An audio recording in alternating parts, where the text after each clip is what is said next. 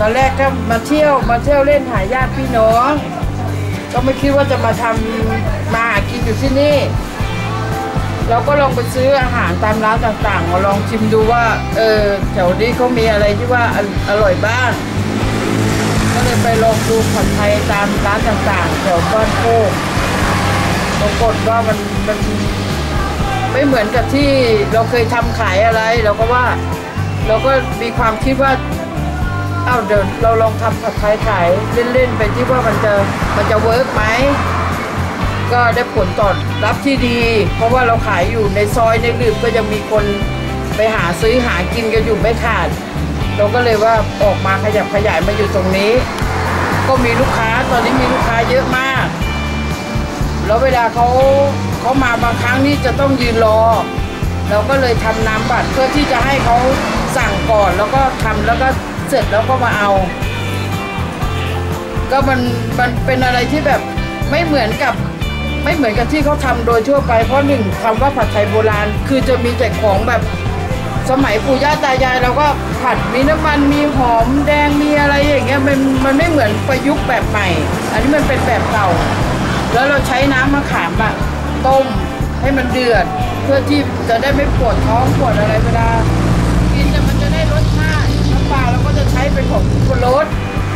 คือน้ำปลาอย่างดีน้ำมะขามก็ต้องต้มต้องสุกผ่านการกั่นกรองมาอย่างเรียบร้อย เส้นเราก็ต้องเลือกเส้นที่มันเหนียวแล้วก็นุ่ม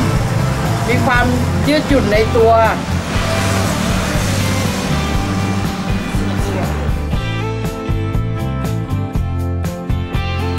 จะครึ่งปีอยู่แล้ว ก็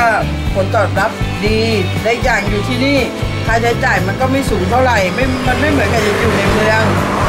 ลูกค้าเราก็เยอะเราคิดว่าโอเคอยู่ตรงเนี้ยแล้วก็อยากเชิญชวนพี่น้องที่ว่ามาเที่ยวในจังหวัดเพชรบูรณ์ลองมาชิมผัดไทยโบราณของเราดูว่าจะอร่อยอย่างที่ค่ะร่ำลือหรือเปล่าอย่างที่พูดหรือเปล่า ร้านเราไม่ใหญ่โตเท่าไหร่เป็นร้านเล็กๆ กระทันรัดมีแค่สองโต๊ะสามโต๊ะเอ่อ พริกเราก็คั่วเอง ถั่วเราก็คั่วเองป่นเอง อยากเชิญชวนพี่น้อง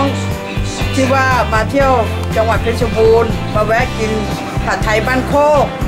ของเรานะคะร้านเราชื่อปุ้ยผัดไทยโบราณ ขอบคุณค่ะครับบนถนนเส้นทางนี้เรามีคู่แข่งไหมครับ มีหลายร้านมีหลายร้านมาก มีหลายร้านนะครับ แต่ก็โดยประเมินแล้วสู้ของเราไม่ได้ เพราะว่าครับเพราะว่ามันผิดกันกับการการทำการกินหรือว่ารสชาติต่างกันต่างกันมาก เรามีความมั่นใจมากขนาดไหนเราถึงได้ร้อยพูดเปอร์ถึเซ็งนต์ร้านร้านคนอื่นไม่อร่อยครับ เราถึงว่าร้อยเปอร์เซ็นต์ว่าเราเราครับดีกว่าเขาทั้งหมด ไม่ว่าจะด้านเส้น ด้านผัดด้านรสชาติหรือว่าองค์ประกอบหลาย ๆ อย่างเส้นนี้เราไปซื้อหาซื้อที่ทั่วๆไปหรือเขาเปก็ล่า ซื้อถั่วที่ว่าตำแล้ว ครับ อะไรแล้วมันจะเป็นสาบ แต่ของเรานี่ไปซื้อแล้วก็มาคั่วใหม่ ๆ แล้วก็มาตำแล้วก็เราจะไม่ใช้น้ำส้มเลยในการทำผัดไทย ใช้น้ำมะขามสำเร็จแล้วก็คือมีมะนาวให้บีบเวลาเราจะทานอีกทีหนึ่งเป็นมะนาวสดๆเป็นมะนาวเป็นลูกผ่าเป็นชิ้นให้ เราจะไม่ใช้น้ำส้ม แล้วเราจะมีถั่วงอกหัวปีใบใบกุ้ยช่ายกับแก้ม ตั้งให้ต่างหากก็ล องลองยังไงแล้วก็เชิญชวนพี่น้อง ถ้าผ่านมาบ้านโอ้ตรงกุเหล็กอะไรนี่ก็แวะมาชิมได้ อยู่ติดกับถนนเลยหาไม่ยาก อยู่ใกล้ๆวัดชัยพฤกษ์เลยวัดชัยพฤกษ์มาประมาณสักร้อยห้าสิบเมตรก็ถึงถึงร้านเราร้านเราจะอยู่ซ้ายมือติดถนนพอดี อันนี้ก็คือร้านความแตกต่างของคุณปุ้ยนะครับ ที่ท่านเสนอบอกว่าร้านค้าของท่านไม่มีอะไร แล้วก็มีอะไรดีมากมายกว่าคนอื่นเนาะใช่ไหมครับใช่ค่ะอืมนี่คือความแตกต่างนะครับโอเคถ้างั้นก็ขอให้พี่น้องประชาชนลองมาแวะชิมดูนะครับ ว่าอาหารของเขานั้นจะมีความอร่อยมากแค่ไหนนะครับคุณป้าครับ คุณป้ามาทานผัดไทยที่ประจำหรือเปล่าครับ มาประจำเลยมาประจำเพราะเหตุอะไรครับ นะเพราะเหตุอะไรถึงมาทานที่นี่ประจำครับมันกินข้าวบอกไม่ได้เลอ๋อยกินข้าวไม่ค่อยได้ที่ที่นี่อ่าผัดไทยเป็นไงบ้างครับผก็อร่อยดีอร่อยดีใช่ไหมครับค่ะคุณป้าเป็นลูกค้าประจำที่นี่นานเท่าไหร่แล้วครับปีแล้วเนี่ยประมาณกี่ปีครับตั้งแต่เข้ามาอยู่โอ้ประมาณเขาขายเขาบอกว่าประมาณ2อสามเดือนแล้วนะทั้งคุณลุงด้วยใช่ไหมค่ะเป็นสองสามีภรรยาใช่ไหมครับ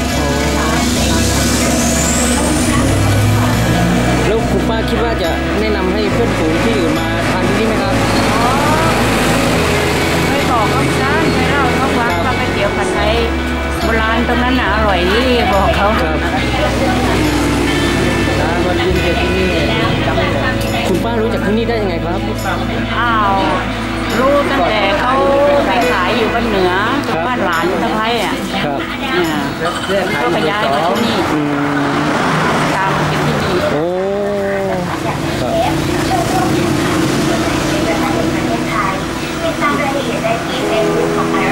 คุณป้าทานที่นี่ทุกวันหรือเปล่าครับ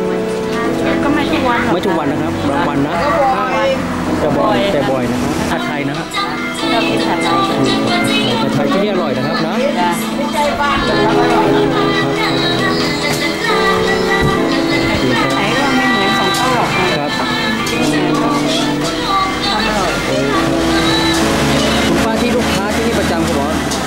นู่นเนี่ยว่าเลยวัดป่าไปอีกอะหนูครับประมาณกี่กิโลครับประมาณโลครึ่งเนี่ยประมาณกิโลครึ่ง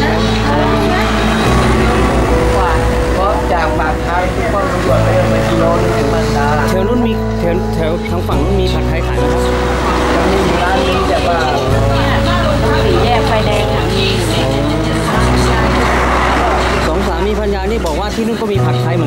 แต่ที่นี่เขาต้องขับรถมาซื้อที่นี่ครับ เพราะว่า